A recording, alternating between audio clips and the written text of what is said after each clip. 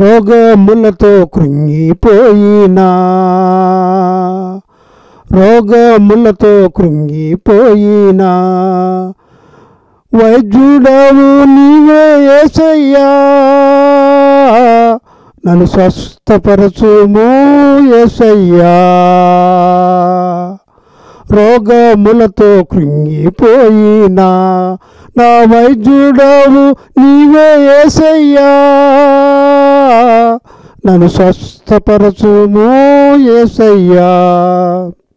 కాదన్నాడు నీ అనాథను తండ్రి కాదన్నాడు నీ అనాథను. కాదన్నాడు నీ అనాథను తండ్రి కాదన్నాడు నీ అనాథను. నా కన్నీరు తుడుచువాడా నేనున్నానని అన్నవాడా. నా కన్నీరు తుడుచువాడా నేనున్నానని అన్నవాడా. అయ్యా కాదన్నాడు నీ అనాథను అయ్యా కాదన్నాడు. నీ అనాథను. ఏంటంటే ఇక్కడ ఎంత స్పష్టంగా చెప్తున్నానంటే దేవుడైన యహోవా ఆయనే. ఆయన తప్ప ఇంక వేరే దేవుడు లేడు. క్రిమింటేంటి వాళ్ళారా మరొకసారి లోకమంతటికి కూడా మేము చెప్పే సువార్త ఏంటంటే యేసుక్రీస్తు ప్రభు నిజమైన దేవుడు. ఆయన తప్ప వేరే దేవుడు లేడు. ఎందుకంటే ఆయనే దేవుడు ఆయనే సృష్టికర్త ఆయనే రక్షకుడు. ఆయన అనుకున్నారు నా రూపంలో తన రూపంలో తన స్వరూపమందు నరుని సృజించెను. నరులు మనం ఎలా ఉన్నామంటే దేవుని రూపంలోనే ఉన్నాం. మన దేవుడు ఎలా ఉంటాడంటే మనలాగే ఉంటాడు. మన పురుషులు ఎలా ఉంటారో మన భర్త మన బిడ్డలు మన కుమారులు ఎలా ఉంటారో దేవుడు కూడా అలాగే ఉంటారు. చాలాసార్లు మరి ఇతర మరి విశ్వాసాల విశ్వాసాలను చూస్తున్నట్టయితే వాళ్ళు చెట్టుగానో పుట్టగానో రాతిగానో రప్పుగానో మరి పది కొమ్ములు ఆ, అట్లా ఉండరు దేవుడు. అలా ఉండరు. నా రూపములో నా స్వరూపమందు నేను సృజిస్తున్నానని చెప్పేసి తండ్రి కుమార పరిశుద్ధ ఆది కాండంలోనే చెప్పుకున్నారు. ఆయనలాగే మనం ఉంటాం. మనం వేరే ఎలాగా ఉన్నాం? కాబట్టి నేనే దేవుణ్ణి అని చెప్పి దేవుడు చాలా స్పష్టంగా తెలియజేశారు. కాబట్టి ప్రిమెంట్ ఇంటి వాళ్ళారా ఇంకా వేరే వేరే విశ్వాసాలు ఉన్నారేమో ఇదిగో మాకు దేవతలు ఉన్నాయి మాకు అది ఎవ్వరూ కూడా మన పాపం నుండి విడుదల చేయలేదు. మనం ఇవాళ మరణించాలి. ఎలాగ సదా ఉన్నాం కదా? తొంభై ఏళ్ళు నూట ఐదేళ్ళు నూట పదేళ్ళు వచ్చిన తర్వాత అయినా చచ్చిపోవాల్సిందే. చచ్చిపోయినా ఎక్కడో చోటుకి వెళ్ళాల్సిందే. మట్టి శరీరం మట్టిలో కలిసిపోతే ఆత్మ దయచేసిన దేవుని ఎద్దకు వెళ్ళుమని దేవుని వాక్యం స్పష్టంగా సెలవిస్తాం దయచేసిన దేవుడి దగ్గరికి వెళ్ళాలి అంటే రెండు రెండు స్థలాలు అక్కడ. అయితే పరలోకం లేకపోతే నరకం. యేసు ప్రభుని అంగీకరిస్తేనే పరలోక రాజ్యం. ఎందుకంటే ఆయన యాగం చేశాడు కాబట్టి. ఆయన రక్తం కార్చాడు కాబట్టి. ఆయన రక్తంలో కడుక్కుంటేనే ఆయన దగ్గర మనం ఉండగలం. విశ్వాసముతో మనం రక్తములో కడుక్కున్నారు. శిలువలో మరణించారు. రక్తము కార్చారు. విశ్వాసము ద్వారా కృపచేతనే రక్షించబడ్డారని దేవుని వాక్యం సెలవిస్తారు విశ్వాసం ద్వారా రక్షించబడ్డాం ఇవాళ చనిపోతాం అనుకోండి పర్లోక రాజ్యం వెళ్ళిపోతాం. ఆయనతో సదా ఉంటాం. మనకి ఏం ఆ విశ్వాసం లేదనుకోండి ఆ ఇది లేదనుకోండి నిత్య నరకం అగ్ని పొరుగు పురుగు చావదు. పాపంతో దేవుని దగ్గర ఉండలేవు. దేవుడు వద్దనడం కానీ ఉండలేవు అక్కడ. వేరే స్థలం ఏంటంటే అగ్ని ఆరదు పురుగు చావు కానీ ఇక్కడే నిర్ణయించుకోవాలి. అదే జ్ఞానం. దానికంటే జ్ఞానం ఏం లేదు. అదే జ్ఞానం. కాబట్టి ఇక్కడ ఏమంటున్నాడంటే నేనే దేవుడిని అని చెప్తున్నాడు. కాబట్టి ఇప్పుడు ఏమని బిడ్డలారా మీరు ఎవరైనా సరే వాక్యం వింటున్న మీరు ఎవరైనా సరే యేసు నిజమైన దేవుడు. ఆయనే దేవుడు. ఆయన తప్ప దేవుడు లేడు.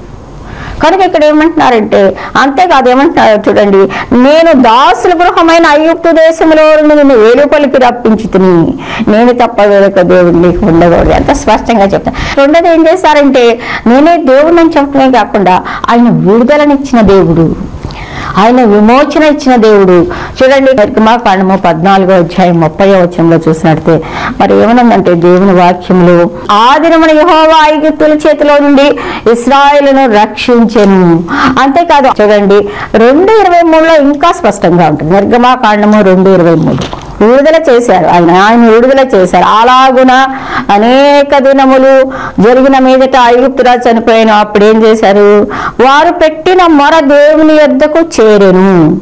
కాగా దేవుడు వారి మూలుగును విని అబ్రహాము ఇస్సాకు యాకోబులతో తాను చేసిన నిబంధనను జ్ఞాపకం చేసుకున్నాను ఏంటి ఇక్కడ ఆ మూలుగులు విన్నారు? విడుదల గురించి మనం మాట్లాడుకుంటున్నాం. ఆయనే విడుదల ఇచ్చే దేవుడు విడుదల చేసే దేవుడు విడుదల చేసిన దేవుడు. ఈ ఇస్రాయేలీలు ఐగుప్తులో చెరగా ఉన్నారు. ఐగుప్తు దాసత్వంలో ఉన్నారు. వారు ఎంత పని చేయించుకునేవారంటే వాళ్ళే ఇటుకలు తయారు చేసుకోవాలి. బురద తెచ్చుకొని మట్టి తెచ్చుకొని ఇటుకలు తయారు చేసుకొని ఆ ఊర్లో ఊర్లు కట్టాలి ఇళ్ళే. పీతోము రామశేశ్వ ఇన్ని పట్టణాలు కట్టారు. కొద్దిగా అన్నం పెట్టి చాలి చాలా అన్నం పెట్టేవారు. చాలి చాలా సౌకర్యాలు ఇచ్చేవాళ్ళు. అంటే దాసత్వం. అయితే ఒక మంచి పని చేశారు. ఆ దాసత్వం ఉందంట?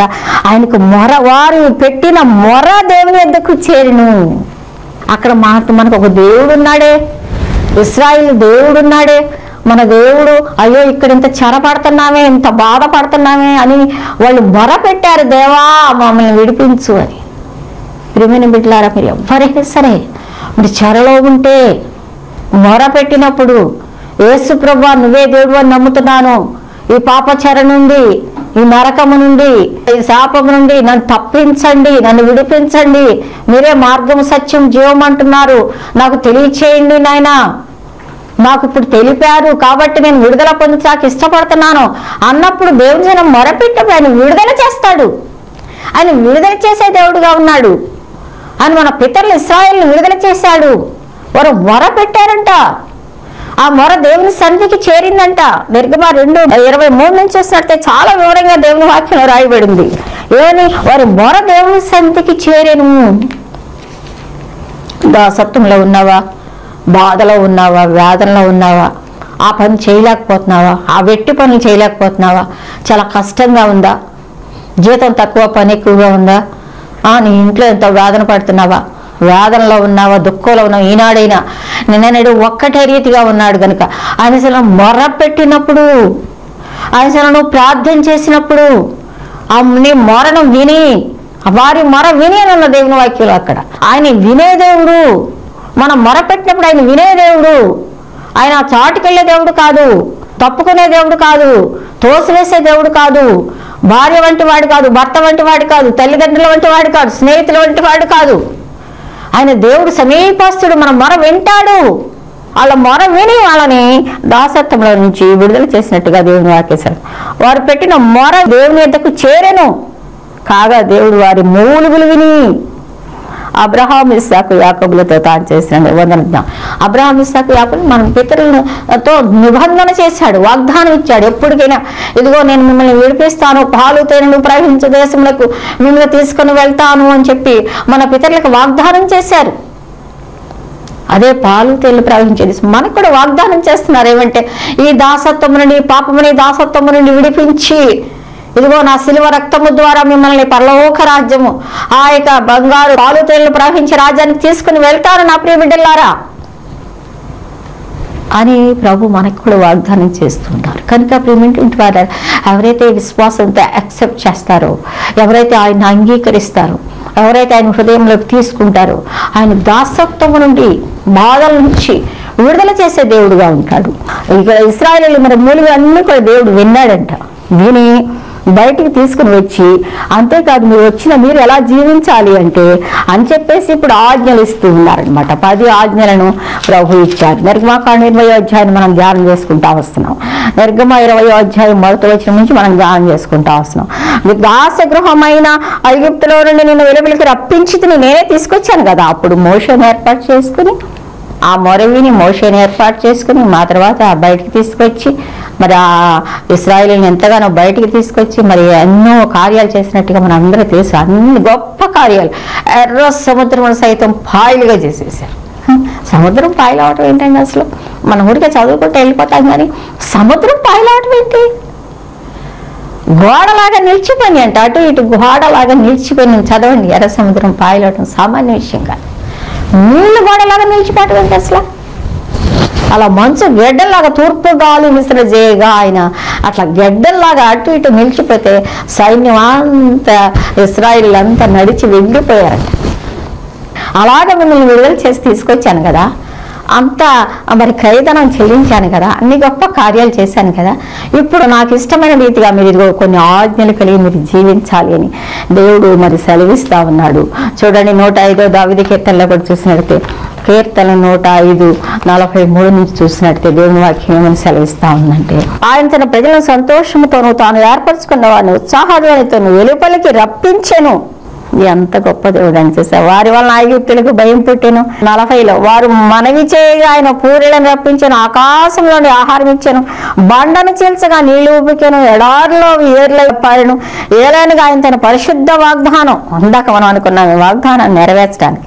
ఆయన తన ప్రజలను సంతోషముతో తాను ఏర్పరచుకున్న వారిని ఉత్సాహం ధ్వనితోనూ వెలుపలికి రప్పించాను.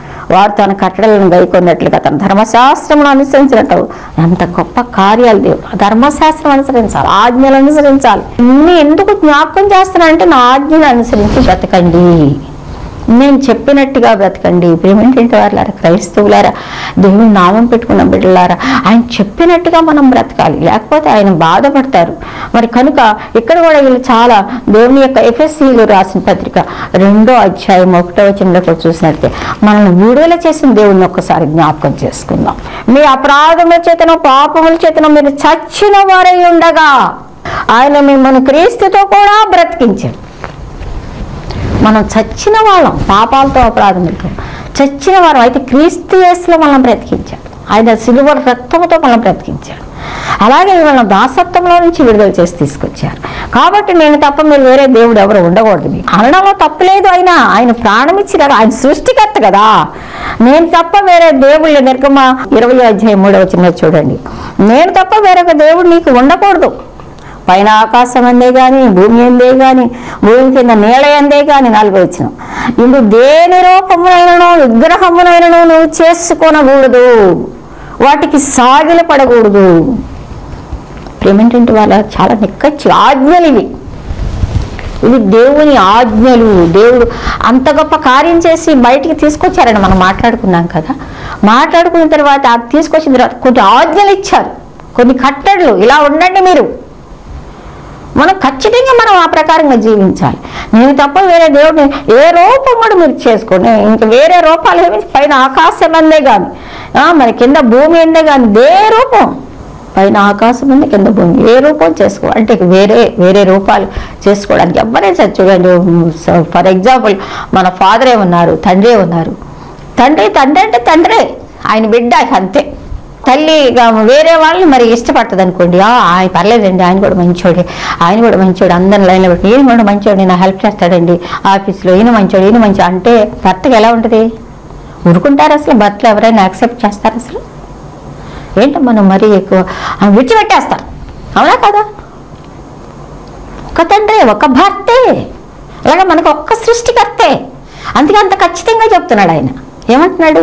నేను తప్ప వేరే దేవుడు ఏ రూపం చేసుకోకూడదు. అంతేకాదు చూడండి ప్రియ సోదరులు కొంతమంది కూడా మనం అనకూడదు కానీ మేరీ మాత విగ్రహం అంటారు యేసు ప్రభు బొమ్మ అంటారు మరి కొబ్బరికాయలు కొట్టడం అది ఇది. అస్సలు ప్రభు ఇష్టపడరు. వేరే రూపం చేసుకోవద్దు అసలు. ఎందుకంటే ఆయన మహిమను మనం తగ్గించిన వాళ్ళం అవుతాము ఆయన ఉన్నత ఆయన గొప్ప మహిమతో ఉన్నటువంటి ఆ దేవుడు ఈ చిన్న చిన్న బొమ్మల్లోనూ విగ్రహాల్లోనూ పెడితే ఆయనకి ఇష్టం ఉండదు. అంటే ఆయనకి ఇష్టం ఉన్న పని మనం చేయకూడదు. మన తండ్రి అయిన మన యజమాని మన ఇంట్లో ఆయనకి ఇష్టం లేని పని చేస్తే చాలా కోపం వస్తుంది ఆయనకి. కదా? చాలా కోపం వస్తుంది. ఇల్లు అంతా పరిస్థితి అంతా మారిపోతుంది. అలాగే మన తండ్రికి ఇష్టం లేని పని మనం చేయకూడదు. అండ్ దేవుడు చాలా స్పష్టంగా చెప్తూ ఉన్నాడు. అంతేకాదు చూడండి ఏమంటున్నాడు?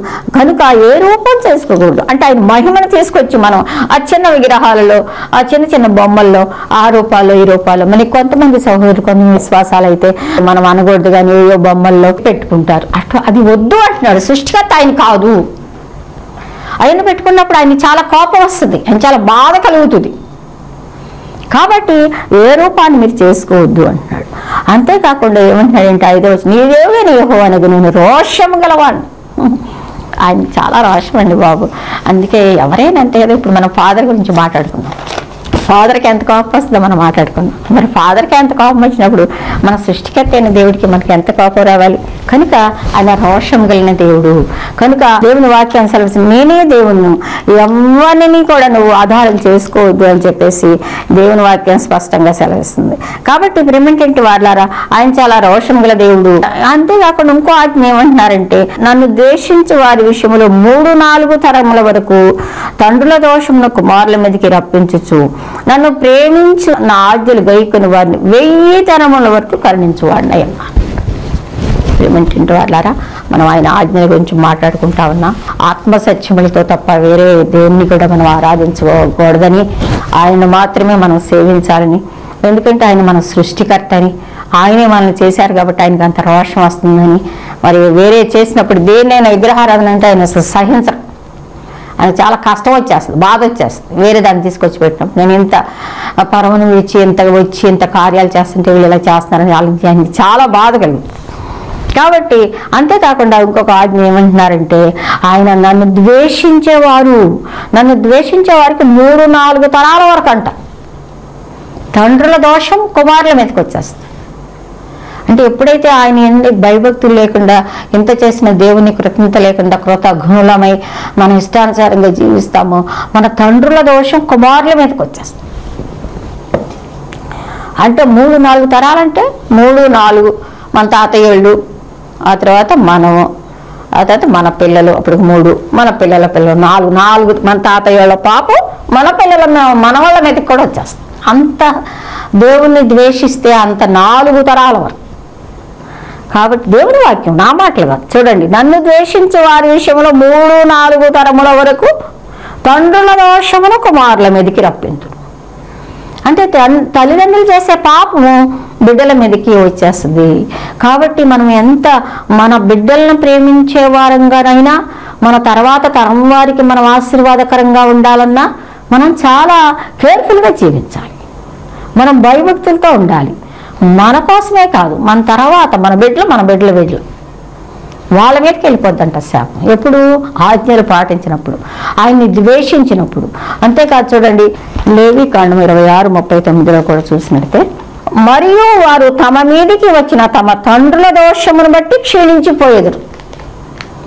ఎప్పుడైతే మనం దేవుని యొక్క వాక్యానికి లోబడకుండా ఆయన ద్వేషిస్తూ ఆయన ఆజ్ఞలు పాటించకుండా ఉంటామో మనమే కాకుండా తండ్రుల దోషం బిడ్డల మీదకి కూడా వచ్చేస్తుంది అన్న విషయాన్ని నేను చూపిస్తా ఉన్నాను. అంతేకాకుండా సంఖ్యాకాండంలో కూడా చూసినట్టుగా పద్నాలుగు పద్దెనిమిది దోషమును అతిక్రమలను పరిహరించు. అపరాధిని నిరపరాధిగా ఎంచక మూడు నాలుగు తరముల వరకు తండ్రుల దోషము కుమారుల మీదికి తెచ్చువాడనై ఉన్నాను మూడు నాలుగు తరాలు. దేవునికి లోబడకపోతే దేవుని ఆజ్ఞలకు లోబడపోతే దేవుని మాటలకు భయపడకుండా ఇష్టానుసారంగా గర్వంగా అహంకారంగా నాకేంటి? నాకెదురెవరో నా ఇష్టం నా రాజ్యం నా ఇల్లు నా- సంపాదన. చాలామంది ఉంటారు గర్వంగా అహంకారంగా నన్ను ఎవడు ఏం చేస్తాడు అన్నట్టుగా. అలాంటి వాళ్ళకంటే మన పాపం మనం దేవునికి లోబడిన తత్వం. మన శాపం మన ఇది మన నాలుగు తరాల వరకు మన బిడ్డల బిడ్డలకు కూడా వెళ్ళిపోతుందని దేవుని వాక్యం సెలవిస్తుంది ఏంగా కాబట్టి ఇప్పుడు ఏంటంటే వాళ్ళు చాలా జాగ్రత్తగా దేవుని ఆజ్ఞలు పాటిస్తూ భయభక్తులతో బతకాలి. మన ఏంటి వాళ్ళ పిల్లలు అట్ట అయిపోయారు? మా తెలిసిన కొన్ని కుటుంబాలు ఉంటాయి అనమాట వాళ్ళు వాళ్ళ పిల్లలు కూడా వాళ్ళ పిల్లలు ఎవ్వన బిడ్డలు చనిపోయారు. యాక్సిడెంట్లో ఇద్దరు ఒకే రోజు. వాళ్ళు షాప్ చేసుకుని వస్తున్నారు ఇంటికి వస్తున్నారు రాత్రి పది గంటలకి. ఏదో షాప్ ఏదో పని చేసుకుంటారు అంతా వాళ్ళు శాపం పెట్టుకున్నారు కోపాలు పెట్టుకున్నారు. టీ ఆర్డర్ చేశారనమాట ఫ్రెండ్స్ లాగా. ఆ టీలో కలిపేశారు విషయం ఇద్దరు అన్నదమ్ములు ఇద్దరు టీ తాగేశారు ఇంటికి వచ్చేసారు స్పాట్లో రాత్రి అక్కడ చచ్చిపోయారు. ఎవరు బెడ్లో అంతా వేదన తల్లిదండ్రులకి. కానీ మనం అనుకుంటాము అమ్మో ఏంటి ఇంత పని చేశాడు దేవుడు అనుకుంటాం. కానీ ఏంటి ఎందుకు చెప్తానంటే బిడ్డలారా ప్రేమింటి వారా మనం బతుకుతున్నామంటే బతుకుతున్నాం కాదు మనం భయభక్తులతో బతకాలి. మనమే కాదు మన తర్వాత వాళ్ళకు కూడా మన ఎఫెక్ట్ ఉంటుంది అది గుర్తుపెట్టుకోండి మీరు. ఆ తర్వాత యవ్వన బిడ్డ వాళ్ళకో చెల్లో క్యాన్సర్ వ్యాధితో చచ్చిపోయింది. ముగ్గురు యవన బిడ్డలో చనిపోయారు యవన కాలంలోనే కాబట్టి మన నేను ఎందుకు చెప్తున్నానంటే నా జీవితం కొంతమంది కథపడి నా జీవితం నా ఇష్టం ఏంటి నువ్వు చెప్పేది అన్నట్టుగా ఉంటారు. కానీ దాని యొక్క ప్రభావం తప్పకుండా ఉంటుంది. మీకే కాదు. మీ బిడ్డల బిడ్డలకు కూడా శాపం తగిలింది. దేవుని మాటలు వినకుండా దేవుని ఆజ్ఞలు పాటించకుండా వారి ఇష్టానుసారంగా జీవించినప్పుడు చాలా నష్టపోతారని దేవుని వాక్యం సెలవు. అయితే దాని వెంటనే ఉంది చూడండి. ఎరగమకాండం ఇరవై అధ్యాయంలో దాని వెంటనే ఏమనుందంటే తారవచనం. నన్ను ప్రేమించి నా ఆజ్ఞలను గైకిన వారిని వెయ్యి తరముల వరకు కరుణించు వాడినై ఉన్నాను. ఎంత గొప్ప దేవుడండి. ఎప్పుడైతే ఆయన ఆజ్ఞలను పాటిస్తూ ఆయన్ని ప్రేమిస్తూ ఉన్నామో వెయ్యి తరాలంట.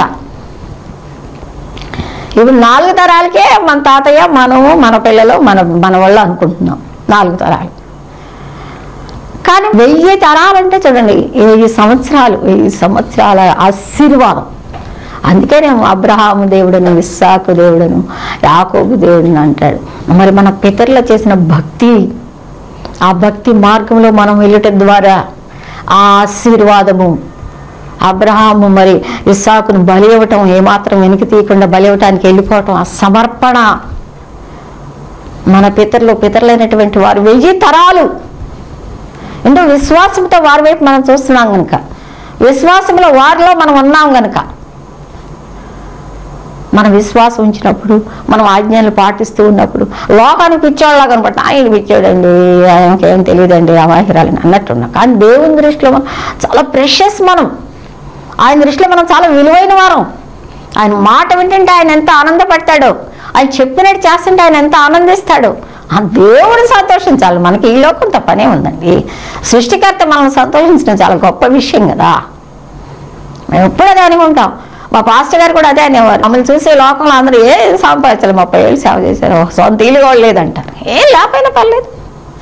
దేవుళ్ళ ఆనందం చాలు. ఇవాళ చనిపోతా పర్లారాజ్యం వెళ్తాం. ఉంటాకి ఇచ్చారు కదా ఏదో ఒకటి. వీలు పెట్టాడు కదా. ప్రిమిండి వెయ్యి తరాల వరకు ఆశీర్వాదం. నిర్గమ ముప్పై నాలుగు ఏళ్ళలో చూసినట్టే. దేవుని అందరి ఆశీర్వాదములు ఎలా వస్తాయంటే దేవుని అందరి భయభక్తులు ఆయన ఆజ్ఞలు పాటించడం గురించి మాట్లాడుకుంటా వస్తున్నాం.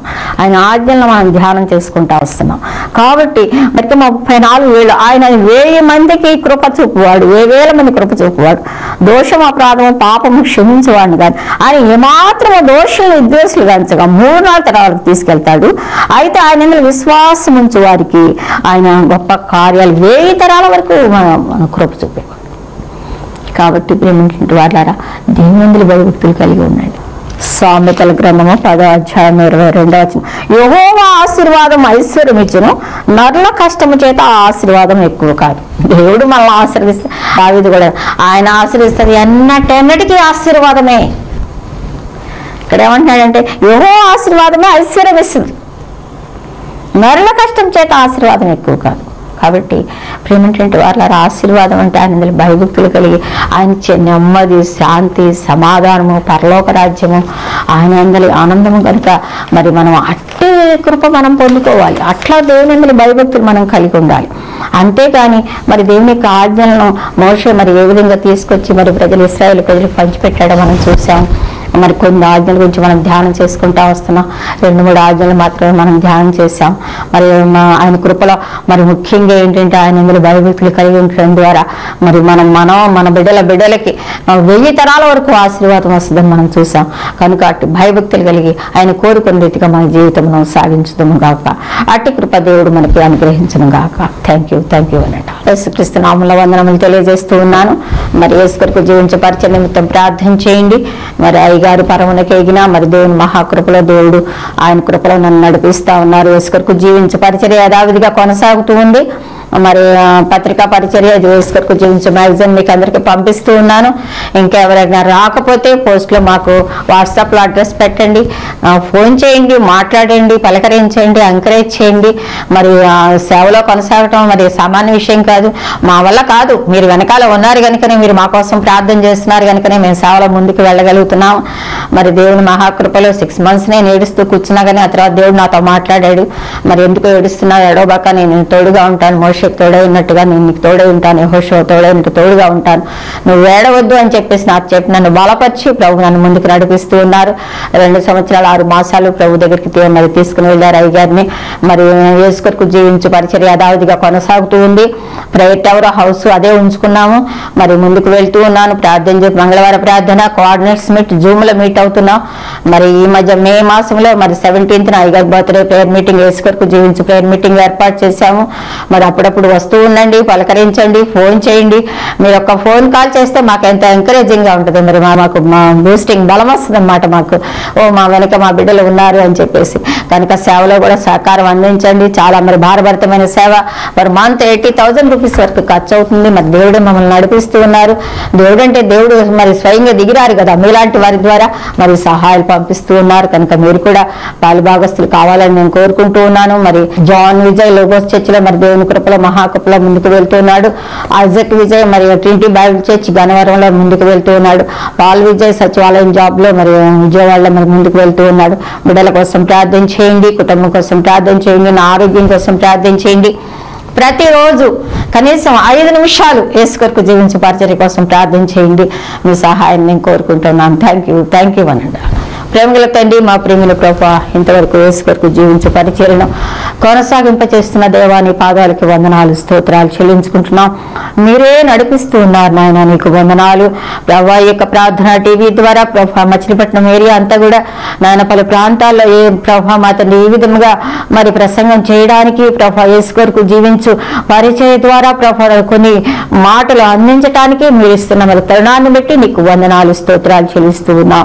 నాన్న రానుంది నాలో ఇంకా ముందుకు నడిపించి మీరు మహిం పొందమని ఆశీర్వాదకరంగా చేయమని ప్రభా. ఇదిగో నీ ఆజ్ఞలు పాటిస్తూ నీ ప్రియమైన వారంగా మేము మీరు ఆకలి ఎత్తబట్టడానికి నన్ను మమ్మల్ని సంఘాన్ని మీరు సిద్ధపరచమని వందనాలు చెల్లిస్తూ ఏ నామములో ప్రార్థించి స్థుతించి వేడుకుంటున్నాం తండ్రి. ఆమె